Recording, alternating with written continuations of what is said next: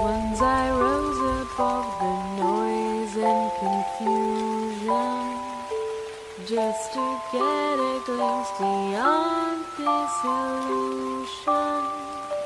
I was soaring ever higher, but I flew too high. Though my eyes could see, Though my mind could think, I still was a madman.